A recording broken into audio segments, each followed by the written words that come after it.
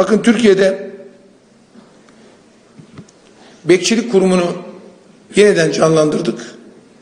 Evden hırsızlık günlük ortalaması 282'den 150 rakamına düştü. Ve bekçilerin üzerinden bir tartışma başladı. Çünkü sonuçlar başarılı olup asayiş konusunda özellikle bir olumlu sonuca evrilen adımlar atılınca aynı şekilde feveranlar ve özellikle bir takım tezviratlar yükselmeye başladı. Afetle mücadelede kapasitemizi arttırdık. Türkiye bu konuda hakikaten dünya ölçeğinde başarılı bir mücadele yaparken bir dezenformasyon kampanyası yapıldı. Göç yönetiminde aynı şekilde küresel ölçekte bir kabiliyet ortaya koyarken birileri sürekli bu analı alanı manipüle edip buradan bir çatışma üretmenin gayreti içerisine girdi.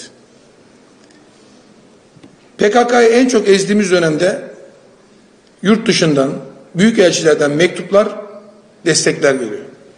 Tıpkı bunun gibi Türkiye'de organize suç çetelerinin söylemlerinin en çok dillendirildiği, muhalefet tarafından en çok sahiplenildiği bu dönem, organize suçlarla mücadelede en çok operasyon yapılan dönemdir. Sadece Emniyet Genel Müdürlüğü Kom Daire Başkanlığımız tarafından yani narkotikte ve diğer noktalarda yapılanları bir tarafa bırakıyorum. Organize suç çetelerine yönelik operasyon sayımız 2017'de 274'tü. 2021 sonu itibariyle bu sayı yüzde 179 artarak 274'ten 767'ye yükselmiştir. Sadece operasyon sayımız. Bu operasyonlarda ele geçirilen şüpheli sayısı da yine aynı periyotta yıllık yani 2017 2107 iken 2021 sonu itibariyle de 4978'e yükselmiştir. Balkan ülkelerinin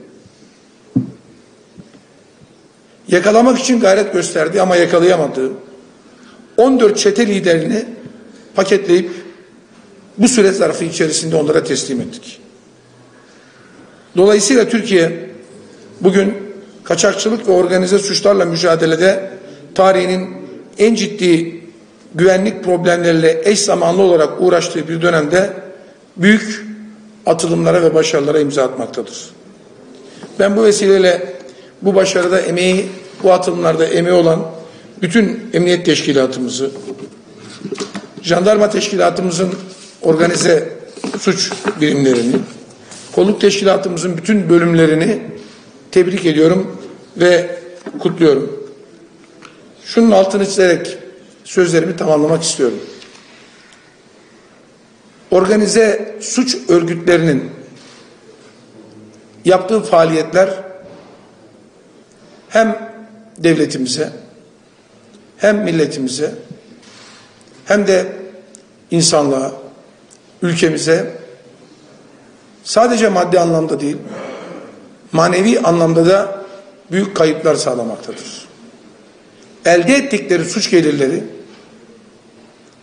ülkemizin sadece vergi kaybı açısından bir kaybı değildir. Aynı zamanda bu suç gelirlerinin kullanımı dahil olmak üzere ülkemizin huzurunu, ülkemizin asayişini ve en önemlisi yıllardır bu topraklarda biriktirdiğimiz medeniyet değerlerini alt üst etmeye yöneliktir. Biz bunun farkındayız.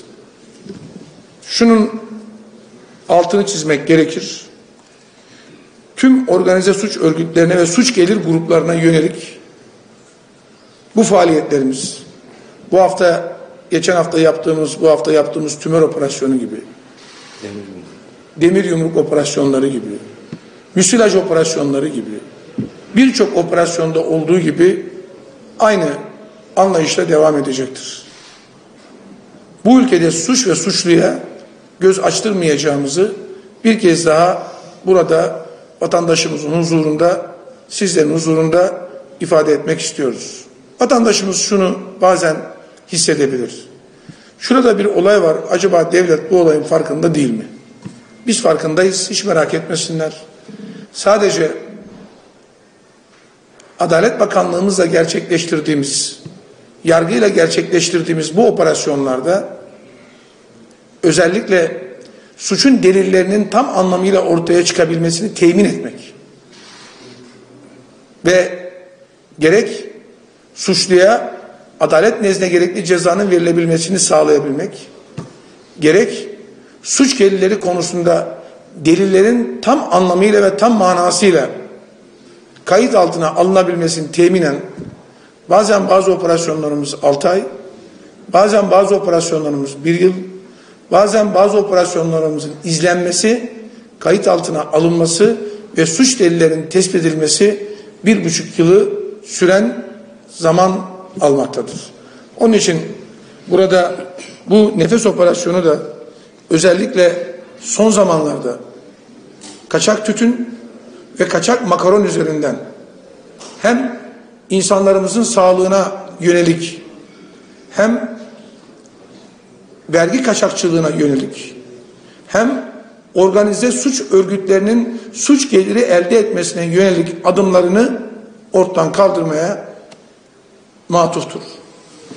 Bu vesileyle bu operasyonlarımızın devam edeceğini, özellikle suç ve suç gelirlerinden beslenen organize suç gruplarının bu yollara tevessül ettikçe devlet tarafından ve kanunlarımız tarafından gerekli cezalarla karşılaşabileceklerine yönelik hiçbir zaman tereddüt içerisinde olmamalarını burada bir kez daha söylemek istiyorum. Devlet yarına bırakır ama yanına bırakmaz. Bunun bilinmesini istiyor ve teşekkür ediyoruz. Sorumuz hocam bugün HDP milletvekili Salih Adem, Adem'izin e, dokunulmazlıkla ilgili dosyası Türkiye Büyük Millet Meclisi'nde e, bir polisin tribünü katmıştı. Siyasilerin, milletvekillerin e, polislerimize karşı üstten bakan tavrı mı e, denir artık? Nasıl değerlendiriyorsunuz efendim? Bugün de dokunulmazlık dosyası meclisi. Gereği yerine getirirler arkadaşlar.